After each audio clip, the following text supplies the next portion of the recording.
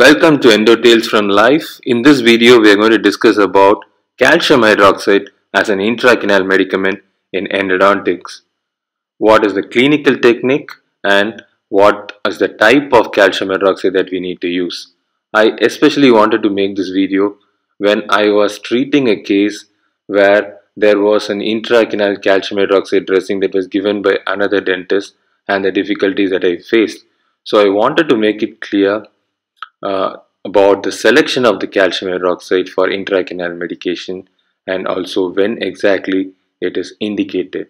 So if we have the habit of placing calcium hydroxide for every case that you do multiple visit or every case that you think is having a necrotic canal, we need to know the literature that have been published in the past.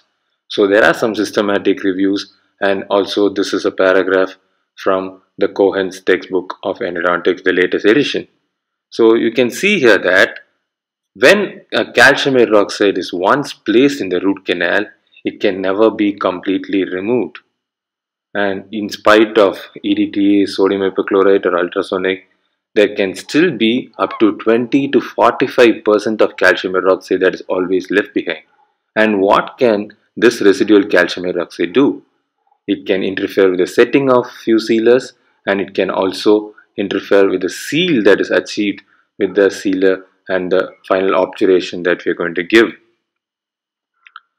And mainly calcium hydroxide is used for antibacterial efficacy but studies have clearly proved that calcium hydroxide is not effective especially against bacteria that are supposed to cause root canal failure.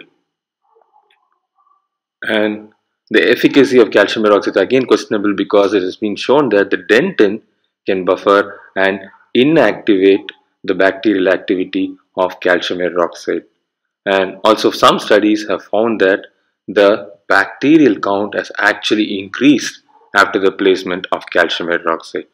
So the conclusion from various studies uh, is that calcium hydroxide has a very limited effectiveness in eliminating bacteria. So if you are thinking that placement of calcium hydroxide is going to give you a nice uh, bacteria-free canal, no, you need to change your mind. So the intracanal medication, the need for intracanal medication is not primarily for antibacterial efficacy. So we have different modes of cleaning and shaping with uh, the combined with rotary, dynamic irrigation, with the use of sonics, ultrasonics, and also we know that the recent sealers, the bioceramic sealers by themselves have a very pronounced antibacterial activity than that of calcium hydroxide. So where exactly is calcium hydroxide now recommended? Does it have a role at all in endodontics? Yes, in very few situations, especially in multiple visit root canal treatment, but again not for root canal disinfection alone, but when in cases where you have a questionable prognosis wherein uh, you want to know the outcome of your treatment during follow-up or observation. So that is when you can use calcium hydroxide maybe as an interim dressing during the observation period. So what type of calcium hydroxide do you need to use? So you need to know that calcium hydroxide can be broadly classified into two types. One based on the setting you also have a calcium hydroxide that can set whereas you also have non-setting calcium hydroxide. So calcium hydroxide that can set is basically used for pulp capping as a sub base but whereas for intracanal medication you need a calcium hydroxide that does not set in the root canal. So the calcium hydroxide that we are going to discuss today is non-setting calcium hydroxide. And again based on the vehicle used it can be classified into aqueous and oil based. These are the two most commonly available commercial types.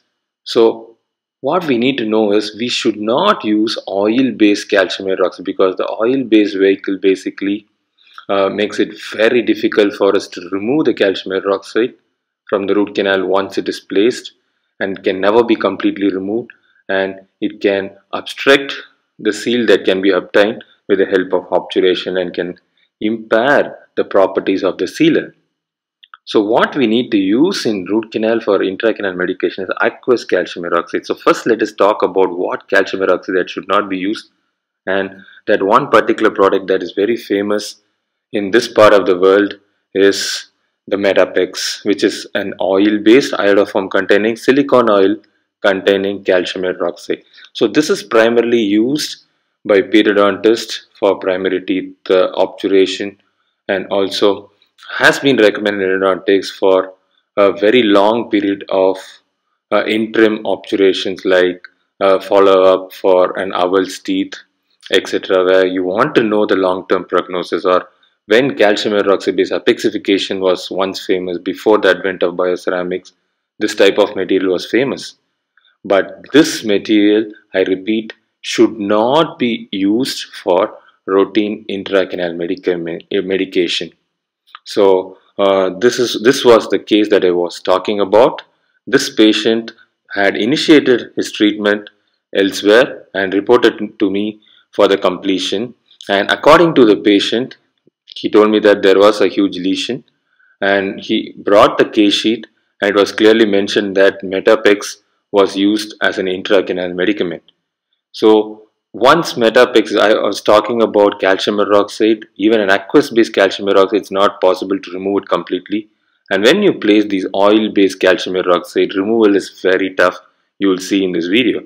So uh, apart from gaining patency, here you can see I'm using ultrasonics along with sodium hypochlorite for the removal of the calcium hydroxide and it's still very tough and since there are some studies which have claimed that EDTA can be very efficient uh, in removing leftover calcium hydroxide, here I'm trying EDTA with uh, sonic irrigation, especially air sonics.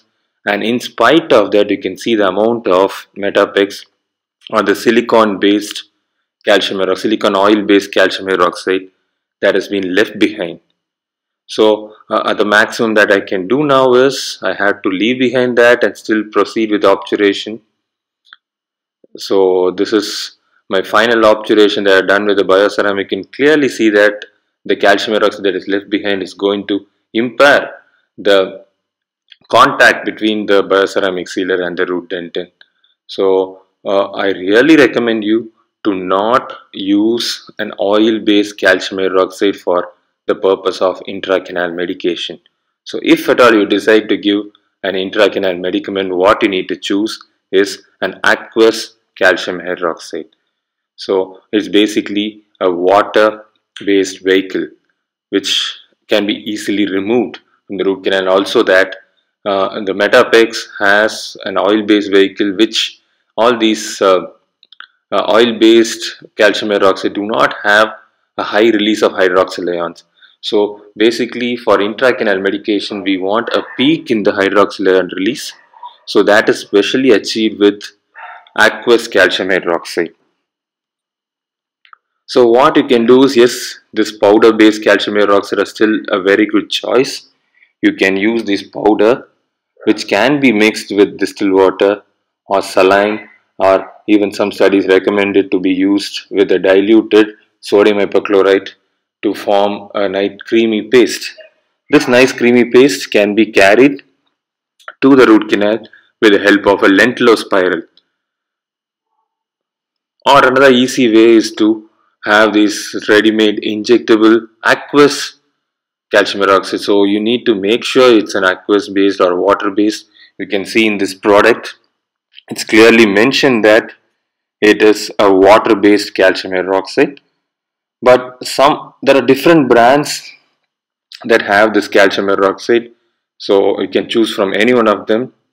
But what you need to know is this type of tip that is too thick and short may not be sufficient for us to place calcium hydroxide. So when we place calcium hydroxide always you need to remember just a thin coating or coating or filling the calcium hydroxide. Just to half the length of the root canal is not sufficient. We need to fill the entire space, root radicular space with the calcium hydroxide. So we need to have an ideal tip for placing the medicament in the root canal. So this tip is too thick. So though some of uh, the economical calcium hydroxide comes only with the tip that you see on the left. What I do is I take the tip that comes along with my bioceramic sealant or the Metapex tips can also be used for this purpose. So these also come with a stopper. So you can see this to the calcium hydroxide tube. I just attach this plastic cannulas and it's very important for you to know your working length and also have a stopper. So we expel the calcium hydroxide right till the tip of the cannula before placing into the canal. Then it is placed 1 to 2 millimeter short of the working length and you need to be passive while injecting. So magnification is highly recommended when you use this technique. So you can see as I am injecting I am also withdrawing the syringe which is very important. When you don't withdraw the syringe that is when calcium hydroxide is going to overfill. And you can see here calcium hydroxide has been evenly coated uh, and it's been completely filled along the entire length of the canal. And you can see this, this is aqueous calcium hydroxide. This can be easily removed compared to that of oil based calcium hydroxide. So according to studies, even this aqueous based calcium hydroxide, some amount is always left behind it's impossible to remove but here I'm using just ultrasonic with a very diluted sodium hypochlorite and you can see that in few seconds or a minute we are able to almost remove the majority of the calcium hydroxide. So this is a case, uh, an example where I would say it's a classic indication for a calcium hydroxide because this patient reported with a lesion and also a sinus tract and a swelling and I was particularly not sure about the prognosis because there was slight mobility and there was also a lateral lesion on the mesial side of the root almost near the cervical region as you can see here. So uh, I was I placed aqueous calcium hydroxide the same technique that I showed in the video. The entire canal was filled and the patient was observed for two weeks and once the sinus tract disappeared and I was able to uh, assess the outcome of the endodontic treatment. Then I removed the, all the calcium hydroxide with the help of ultrasonic and uh, diluted uh, sodium hypochlorite. And following this, a bioceramic obturation technique was done. You can see a lateral canal uh, towards the cervical area, towards the lesion especially. And this is how we use calcium hydroxide, not for every case, and whenever I need to place or use a calcium hydroxide, we only use an aqueous calcium hydroxide. Make sure it's used with the proper technique and the entire canal is filled. And we also need to make sure they are completely removed. So what is one common myth again I wanted to talk about calcium hydroxide is that people think calcium hydroxide is very biocompatible and when there is lesion some even believe calcium hydroxide has to be intentionally pushed beyond the apex. So this is not acceptable. No material should be placed beyond the uh, root canal. This is completely not allowed. Extrusion of any material, be it bioceramic or calcium hydroxide, is not advocated in the literature at all. And you can see here there are some case report and studies that calcium hydroxide, if it's going to extrude, especially near uh, structures that are in the periapical region that are very sensitive, we are going to face some serious complications. So calcium hydroxide should never be placed beyond the apex. It is a myth if you think that calcium hydroxide pushed beyond the apex can favor periapical healing. So what is the take home message here? Think twice before placing calcium hydroxide because once placed can never be removed. So it is actually not needed for every case for root canal disinfection.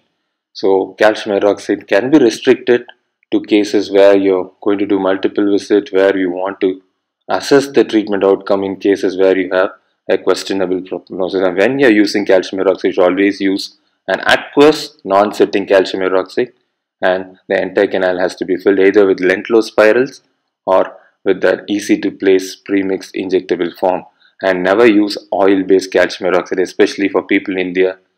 Do not use this, prop, this product which is very famous called Metapex for routine root canal intracanal medication. Thank you. I hope this video was of great help to you. For more educational content, Please follow me on my social media platforms and also to learn more of endodontics, you're welcome to our Endo 360, the comprehensive endodontic workshop.